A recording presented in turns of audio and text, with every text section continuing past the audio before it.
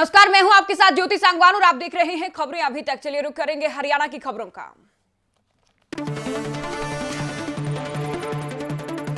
हिसार में गुरु जम्भेश्वर विश्वविद्यालय में एनएसओ के आमरण अनशन का पांचवा दिन हो चुका है। इस अनशन पर एनएसओ के राष्ट्रीय अध्यक्ष दिग्विजय चौटाला समेत बाकी साथी आमरण अनशन पर बैठे हैं और हिसार में चल रहे एनएसओ के आमरण अनशन पर। हिसार के इनैलो सांसद दुष्यंत चौटाला पहुँचे।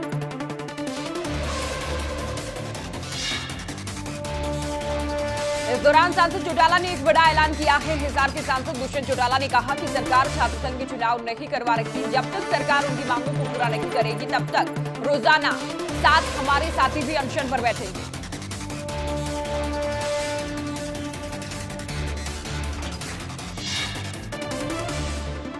नेहरू नेता अभय चौटाला ने संघ चुनाव की मांग को लेकर बयान दिया है। अभय चौटाला ने कहा कि जो डिमांड ये बच्चे कर रहे हैं, वो सरकार ने अपने चुनावी घोषणा पत्र में शामिल की थी, वादा किया गया था, उसे सरकार पूरा करे। अभय ने कहा कि अगर सरकार विधानसभा के सत्र से पहले सरकार ने चुनाव को घोषित नहीं किया तो पूरे प्रदेश में विश्वविद्यालयों में हमारी छात्र संगठन भूख हड़ताल शुरू होगी। और अभय ने कहा कि अगर ज़रूरत पड़ी तो इनेलो संगठन का हर कार्यकर्ता छात्रों के हक की लड़ाई लड़ेगा।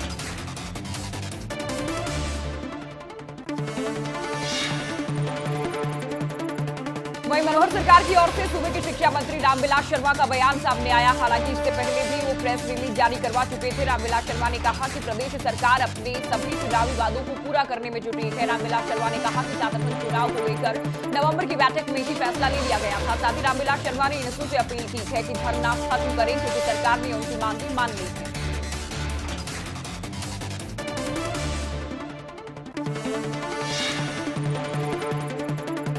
हरियाणा के वरिष्ठ आईएएस अधिकारी अशोक खेमका ने बड़ा खुलासा किया। है मानेसर ज़मीन घोटाले को लेकर आईएएस अशोक खेमका ने एक ट्वीट किया है, जिसमें उन्हें मानेसर ज़मीन घोटाले में सीबीआई की ओर से जो चार्जशीट अदालत में पेश की है, उसको लेकर सवाल खड़े किए। खेमका ने ट्वीट में सिर्फ़ इशारा किया और कहा कि कुछ मामलों में कुछ लोगों को छोड़ दिया गया है, जबकि अभियोजन पक्ष को गवाह बनाया गया है, जिससे केस कमज़ोर हुआ।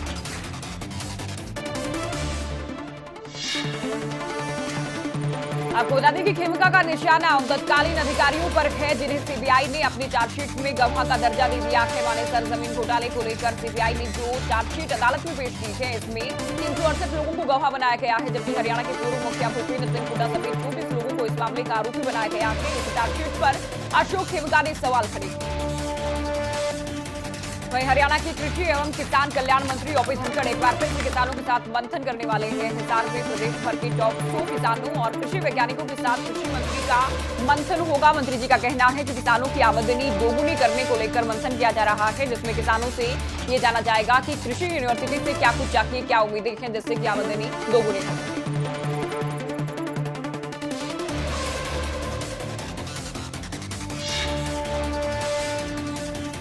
फ़िल्म वीरे की वेडिंग का गाना हट जाताऊ विवादों में आ गया है। हरियाणा के सिंगर विकास कुमार ने फ़िल्म डायरेक्टर समेत 16 लोगों को कॉपीराइट मामले में सात करोड़ का नोटिस भेजा है। इसमें हरियाणा की एक ही सिंगर सपना चौधरी का नाम भी शामिल है। साथ ही विकास का दावा है कि हट जाताऊ उनका अपना गाना है, जो की कई साल पहले गाया गया था और इसके कॉपीराइट भी उनके पास है।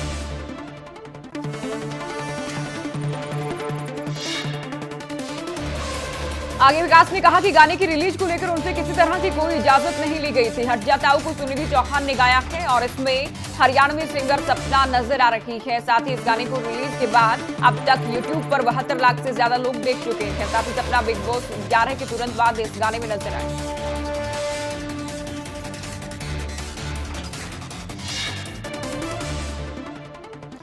वहीं साल 2000 में देश पर शहीद होने वाले फरीदाबाद के बिजोपुर गाँव के निवासी मोहम्मद जबी के परिवार को सरकार ने 200 गज प्लॉट देने का फैसला लिया। है लेकिन 18 साल गुजर जाने के बाद भी परिवार को आज तक ना तो गैस एजेंसी मिली है और ना ही पेट्रोल पंप का जो वादा किया गया था, वो मिला है।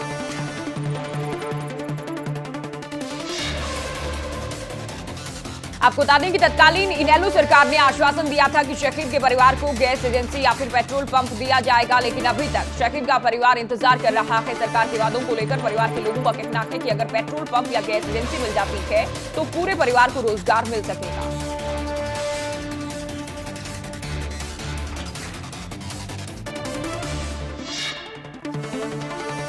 वहीं फरदाबाद के बहादुरगढ़ में शास्त्री नगर की गलियों में गंदा पानी भर चुका है, जिसकी तस्वीरें भी आप टीवी स्क्रीन पर देख रहे हैं। नालियों के गंदे पानी से भरी गलियों के बीच से लोगों का आना जाना मुश्किल हो चला है। स्कूल जाने वाले बच्चे हो या फिर दवाई ले जाने वाला बीमार इंसान हो, हर किसी को परेशानी का सामना करना पड़ रहा है।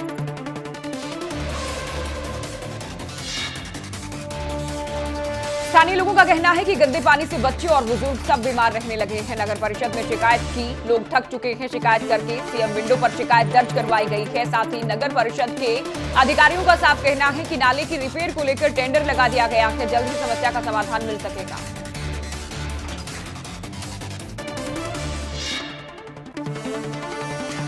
संजय लीला बंसाली की फ़िल्म पद्मावती के बाद अब बाबा रामदेव पर आधारित सीरियल रामदेव एक खोज पर विवाद शुरू हो चुका है। सोमवार को रोहतक में ब्राह्मण समाज के लोगों ने रामदेव का पुतला चलाया और उनके प्रोडक्ट्स का बहिष्कार किए जाने की चेतावनी इन लोगों की ओर से दी गई।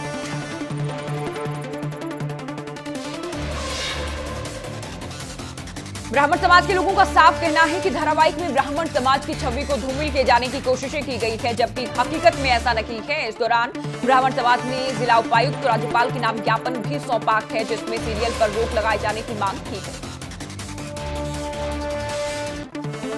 वही गाँव भैंसा डिब्बा से कुछ लोग राजवीर नाम के एक शख्स को उपचार के लिए सामान्य अस्पताल लेकर गए। डॉक्टर्स ने चेक किया तो राजवीर की मौत उस वक्त हो चुकी थी। घर वालों ने डॉक्टर्स पर उपचार में देरी करने और लापरवाही करने के आरोप लगाए। हंगामा शुरू कर दिया गया पुलिस और साथ ही सिक्योरिटी स्टाफ ने बड़ी मशक्कत के बाद इस मामले को शांत करवाया। परिजनों का साफ़ आरोप है की राजवीर का मर्डर किया गया।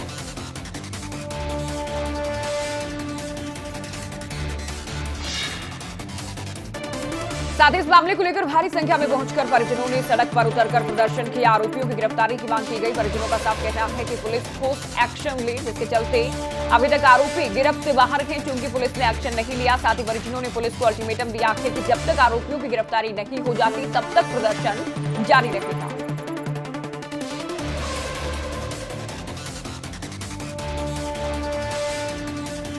वहीं सेवा, सुरक्षा और सहयोग का नारा देने वाली हरियाणा पुलिस जब खुद गुंडागर्दी पर उतर आए तो आम लोगों की रक्षा कौन करेगा? बड़ा सवाल। पुलिस की गुंडागर्दी का एक ऐसा ही वीडियो सामने आया है जो कि वायरल हुआ है, जिसमें दो पुलिसकर्मी एक ड्राइवर को गाड़ी से खींचते हैं, उसकी पिटाई करते नज़र आ रहे हैं।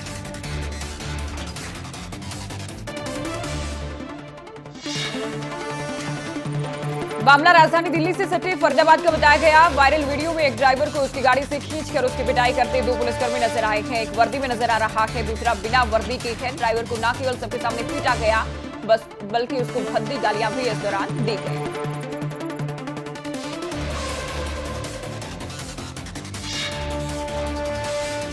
चलो बात करेंगे फरीदाबाद की, जहाँ तेरह साल की नाबालिग दुष्कर्म की पीड़िता ने एक बच्ची को जन्म दिया। है दरअसल पड़ोस का रहने वाला एक युवक नाबालिग को डरा धमकाकर कई महीनों से उसके साथ रेप कर रहा था।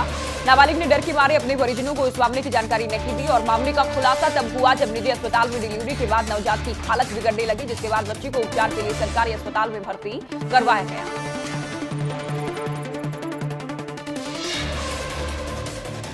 तो फ़िलहाल पुलिस ने दुष्कर्म का मामला दर्ज किया है। आरोपी युवक को गिरफ़्तार कर लिया गया है। नवजात बच्चे की बिगड़ती हालत को देखकर उसे राजधानी दिल्ली रेफर कर दिया गया है। पुलिस गिरफ्त में आने के बाद आरोपी ने अपना गुनाह भी कबूल कर लिया।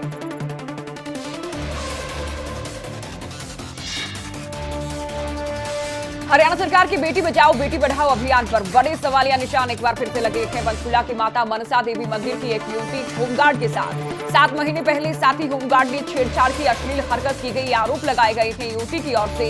लेकिन इस मामले में अभी तक कोई एक्शन नहीं लिया गया और हैरान ये बात करती है कि जब युवती ने इसकी शिकायत उच्च अधिकारियों को दी तो उसको नौकरी से निकाल दिया गया।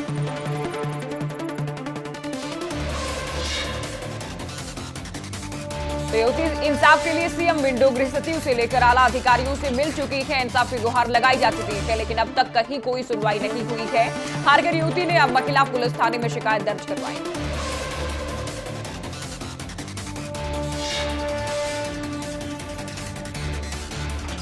हरियाणा की जीत में तीन दिवसीय कबड्डी प्रतियोगिता का आयोजन किया गया। हरियाणा के परिवहन मंत्री ने इस एक करोड़ की कबड्डी का शुभारंभ किया। इस कबड्डी का रंगारंग शुभारंभ किया गया। परिवहन मंत्री कृष्णलाल पवार ने कहा कि हरियाणा के खिलाड़ियों का जो सुरक्षित है, पूरी तरह से भविष्य, और हरियाणा एकमात्र ऐसा राज्य बन गया है जो खिलाड़ियों को सुरक्षित भविष्य देता है, और युवाओं को बुराइयों से दूर रहकर खेलों में ध्यान देने की ज़रूरत है।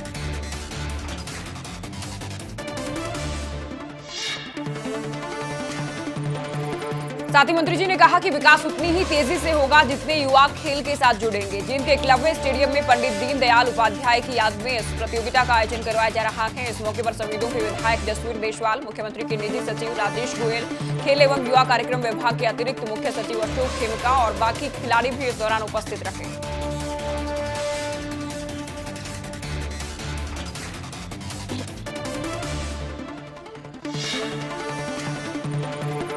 अब बात करेंगे पलवल की, जहाँ पुलिस हिरासत में बदमाश हरिया की मौत हो गई है। दरअसल हरिया के सीने में अचानक दर्द हुआ, जिसके बाद पुलिस हरिया को अस्पताल लेकर गई। डॉक्टर्स ने हरिया को मृत घोषित कर दिया।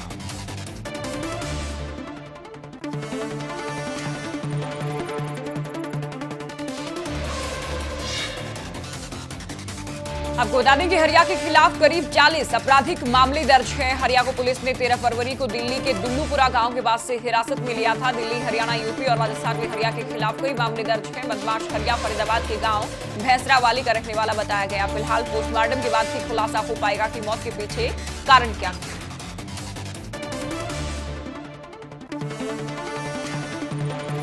वहीं पंचकुला के भैंसा टिब्बा गाँव में युवक की पिटाई के बाद मौत का मामला सामने आया है। परिजनों ने डॉक्टर्स पर मरीज़ की सही से देखभाल न करने के आरोप लगाए हैं। लापरवाही के आरोप लगाए हैं। परिजनों के मुताबिक राजवीर पिछले दो तीन महीनों से गाँव में चाय की दुकान कर रहा था। वो दुकान का किराया नहीं दे पा रहा था, जिसके चलते मालिक ने उसकी जमकर पिटाई की।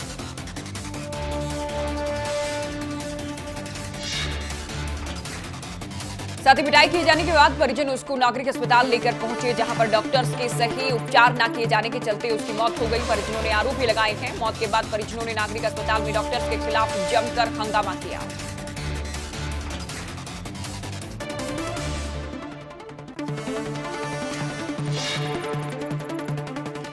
साथ ही मामले की सूचना पाकर पुलिस बल मौके पर पहुँचा। जाँच अधिकारी का साफ़ कहना है कि खुदकुशी की सूचना मिली थी, जिसके बाद हमने मौके पर पहुंचकर शव को पोस्टमार्टम के लिए भिजवाया और पोस्टमार्टम रिपोर्ट आ जाने के बाद आगामी कार्रवाई की जाएगी।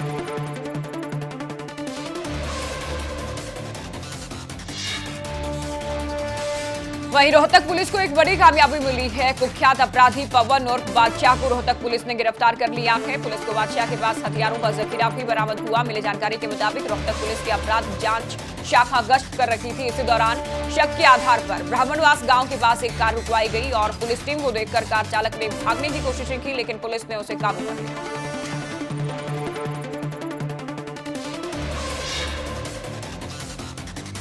जब कार चालक से पूछताछ की गई तो जानकारी मिली कि एक कुख्यात अपराधी पवन और बादशाह है। पुलिस ने कार की तलाशी ली तो उसके अंदर से दो डबल बैरल गन, एक सिंगल बैरल गन, दो देसी पिस्टल और पिचासी ज़िंदा कारतूस बरामद किए गए। ये कुख्यात अपराधी कई आपराधिक वारदातों में शामिल बताया गया है। साल दो हज़ार दस में अपराध की दुनिया में ये सक्रिय हुआ और रोहतक के एसपी पंकज नैन ने सोमवार को प्रेस कॉन्फ्रेंस की तमाम खुलासा किया।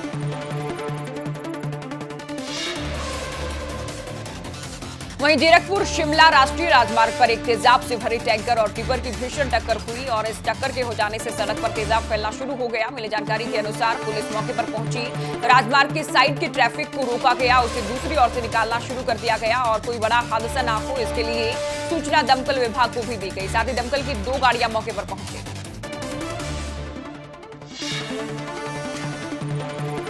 पुलिस ने जानकारी दी कि टिपर चालक मौके से फरार हो गया। साथ ही टैंकर चालक को पुलिस ने हिरासत में ले लिया। अपनी पूछताछ शुरू कर दी है। स्थिति को देखते हुए तेजाब पर पानी नहीं गिराया गया और तेजाब के रिसाव को रोकने की कोशिशें की गई।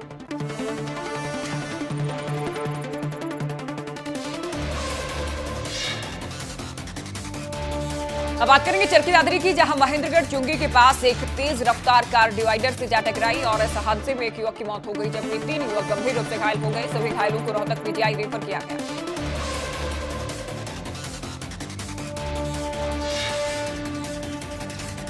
बताया गया कि चारों दोस्त दिल्ली के मुखर्जी नगर से दादरी के पास से गाँव में शादी समारोह में शामिल होने जा रहे थे। कार तेज रफ्तार में होने के चलते अनियंत्रित हुई डिवाइडर से जा टकराई। टक्कर इतनी भीषण थी कि पूरी कार के परखचे उड़ गए।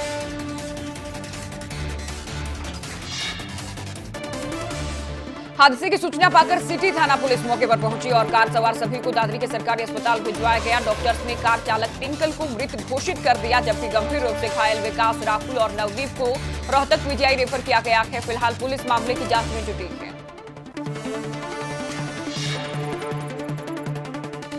उत्तर भारत के ऐतिहासिक प्राचीन शिव मंदिर, महादेवपुरा सकेतनी को डेरा चोरों ने अपना निशाना बनाया। चोरों ने भगवान की मूर्तियों पर चढ़े लाखों रुपए के गहनों पर हाथ साफ़ कर दिया और सुबह जब पंडित मंदिर का दरवाज़ा खोलने पहुँचा तो देखा कि मंदिर के ताले टूटे थे। पंडितों ने तुरंत मंदिर कमेटी को इस मामले की सूचना दी।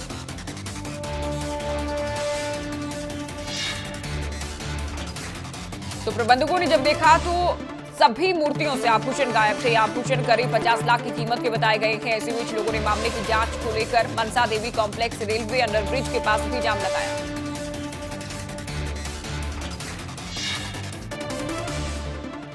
वहीं पुलिस के अनुसार 22 से 35 साल की उम्र के बीच के करीब पाँच से छह युवक मंदिर के सीसीटीवी कैमरे में कैद हुए हैं। रात करीब एक बजकर पचपन मिनट पर ये मंदिर के अंदर घुसे। उन्होंने सबसे पहले शिव मंदिर, फिर राम मंदिर, उसके बाद नव दुर्गा मंदिर के ताले तोड़े।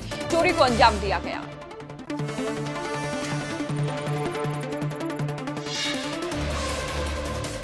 साथ ही चोरों ने दो शिव मंदिर, राम मंदिर, हनुमान, नव दुर्गा मंदिर राधा कृष्ण की मूर्तियों पर चढ़े सभी आभूषण चोरी कर लिए। प्रधान केशुराम ने इसकी शिकायत मनसा देवी पुलिस थाने में की है। थाना प्रभारी के अनुसार सीसीटीवी फुटेज में कैद आरोपियों को जल्द ही पहचाना जाएगा। उनकी गिरफ्तारी कर ली जाएगी।